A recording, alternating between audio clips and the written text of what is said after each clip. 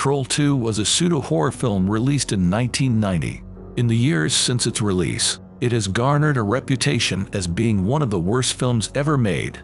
Its nonsensical script was compounded by the fact that its writers Claudio Fragasso and Rossella Drudi were Italian natives, and English was not their first language.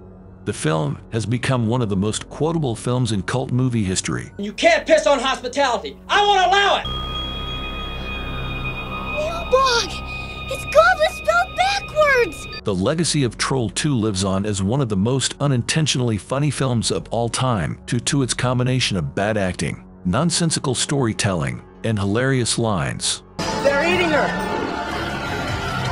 And then they're going to eat me. Oh my